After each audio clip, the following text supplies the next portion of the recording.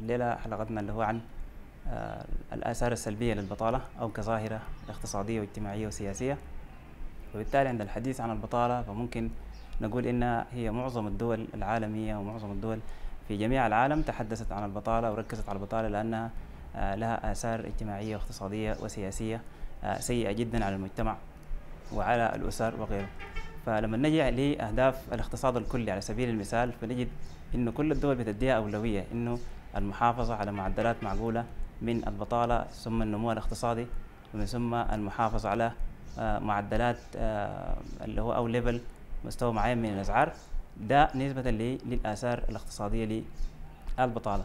طيب لما نجي نعرف أو مفهوم البطالة بنقصد بها اللي هو آه، تعطل الأفراد عن العمل اللي هم الغادرين عن العمل والأشخاص اللي بيبحثوا عن العمل. يعني نحن لما نجي جهاز المركز الإحصاء يحاول يحسب معدلات البطالة في أي دولة فهنا بيقوم بيعمل exclusions أو آه، عزل اللي هو آه، أطفال صغار السن دون سن ال 15 واللي هو كبار السن ال 65 آه، سنة فأعلى فبالتالي بنحسب اللي هو القوة العاملة في الدولة.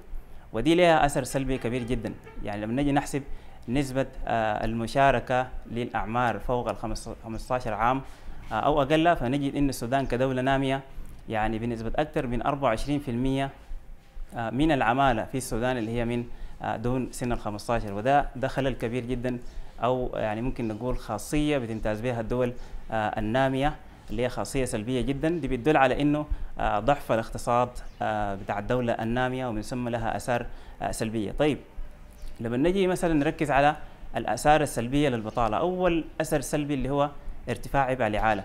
لما نقول ارتفاع عبء الإعالة بمعنى إنه الأشخاص المتعطلين عن العمل ده بيدل على إن شنو؟ بيدل على إنه آه، معدلات دخولهم منخفضة وده بيؤدي لي إلى شنو؟ بيؤدي لي إلى تفكك أسري ومن ثم إلى تشرد ومن ثم إلى ارتفاع معدلات آه، الجريمة وغيره.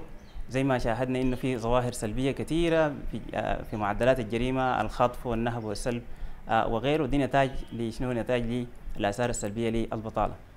كذلك نجي للتفكك الأسري. يعني نلاحظ إنه في جميع المحاكم نجد نسبة الطلاق مرتفعة ما بين الأسر في في المحاكم والإشكاليات الأسرية وغيرها. فنجد برضو الأسر ما بتقدر يعني آه، ترسل أطفالها وأولادها إلى المدارس وجامعات وغيره نسبة اللي إلى يعني ارتفاع معدلات آه، البطالة. وممكن نقول أيضا في آثار اقتصادية. فكل ما عندنا في المجتمع أو في الدولة آه، نسبة بتاع البطالة كبيرة. ده بيدل على إنه اقتصاد الدولة هش واقتصاد الدولة آه، اللي هو فيه إشكاليات عديدة أو تشوهات هيكلية. فلا بد إن الدولة تولي لها اهتمام آه، كبير. طيب لما نجي نرجع للتاريخ في في قدم الزمان اللي هو في فترة الكساد العظيم يعني حدثت معدلات بطالة مرتفعة جدا. فبالتالي ما كان إلا من الدول الغربية إنها توليها اهتمام كبير من من قبل الباحثين الاقتصاديين والسياسيين والاجتماعيين. ليه؟ لأنها شكلت هاجس كبير. يعني تزامنت مشكلة البطالة مع اللي هو آه، إشكاليات أخرى متمثلة في آه، انخفاض دخول الأفراد آه، انهيار بعض الشركات وظهور ظاهرة الكساد وغيره. فدي أولوها اهتمام كبير ليه؟ لأنه لأهمية البطالة. طيب لما نجي نقول مثلا كظاهرة إنه كيف نعالج مشكلة البطالة؟ ففي نظريات كثيرة تحدثت. يعني أولهم كينز. كينز اللي هو زي ما هو أبو الاقتصاد الكلي. فذكر إنه لابد إنه الدولة تتدخل. تتدخل بشنو؟ تتدخل مثلا بمسألة إنه الدولة تزيد الإنفاق. تزيد الإنفاق على التعليم. تزيد الإنفاق على الصحة. آه، تدعم البنيات التحتية. آه، تدعم اللي هو الصناعات تدعم المنتجين وغيره. فده بيشجع لي شنو؟ الكلام ده إحنا كدولة نعمله ده بيشجع لي الإنتاج. ومن ثم نحن شجعنا الإنتاج بيتطلب عمالة كثيرة جدا. فبالتالي إحنا لما آه، ناخذ عمالة كثيرة في داخل هذه الدولة بالتالي نكون قللنا من معدلات البطالة في داخل الدولة وقللنا من شنو؟ آثارها.